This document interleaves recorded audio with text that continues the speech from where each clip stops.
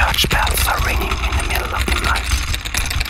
Under the foliage of a birch, a puppy is hanging in a snare. A horn of darkness is growing out of the floor.